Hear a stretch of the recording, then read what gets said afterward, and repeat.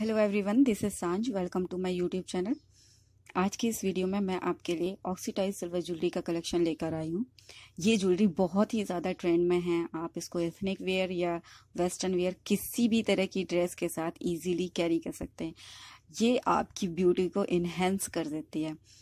तो स्टार्टिंग में मैंने ये जो आपके साथ कलेक्शन शेयर किया है बेसिकली टेंपल ज्वेलरी का कलेक्शन है, जो कि साउथ इंडिया में बहुत ही ज़्यादा फ़ेमस है। तो आप अगर एक एथनिक लुक चाहते हैं और उसमें एक मैट फिनिश में ज्वेलरी सर्च कर रहे हैं तो this is going to be the best option for you आप इस ज्वेलरी के साथ एक एलिगेंस लुक कैरी कर सकते हो और ये ज्वेलरी आपको लाइट से लेके हैवी सभी तरह की रेंज में मिल जाती है। तो आप इस, इसको अगर चाहें तो इयर को आप वेस्टर्न वेयर के साथ भी इजीली कैरी कर सकते हो या फिर डेली वेयर में भी आप इस ज्वेलरी को कैरी कर सकते हो। उसके बाद जो मैंने नेक्स्ट कलेक्शन शेयर किया है वो अफगानी ज्वेलरी का है। तो अगर आप सिल्वर ऑक्सीडाइज सिल्वर ज्वेलरी में एक कलरफुल ज्वेलरी का ऑप्शन देख रहे हो तो this is going to be the best option for you क्योंकि ये एक गॉर्जियस सिल्वर ज्वेलरी का कलेक्शन है। इसमें अगर आप देख रहे हो कि हैवी ज्वेलरी ज़्यादा दिख रही है क्योंकि अफगानी ज्वेलरी जो होती है थोड़ा सा हैवी होती है। तो आप इसको एथनिक वेयर के साथ आराम से एक ब्यूटीफुल लुक क्रिएट कर सकते हो। उसके बाद जो नेक्स्ट मैंने आपके साथ ज्वेलरी शेयर की है, ये बोहो या ट्राइबल लुक आप कह सकते हो। अगर बोहो या ट्राइबल लुक आप कैरी करना चाहते हो तो ये ज्वेलरी आपके लिए बिल्कुल परफेक्ट है।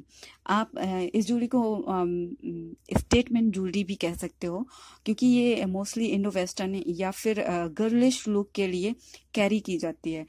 चाँद वाली वगैरह जैसे ये ज्वेलरी है तो इसको आप सूट के साथ आराम से कैरी कर सकते हो। उसके बाद मैंने आपके साथ शेयर किया है ये बीडेड ज्वेलरी का लुक जो कि आपकी ड्रेसेस आपकी एथनिक वियर को उसकी ब्यूटी को और आपकी ब्यूटी को दोनों को इन्हेंस करेगा।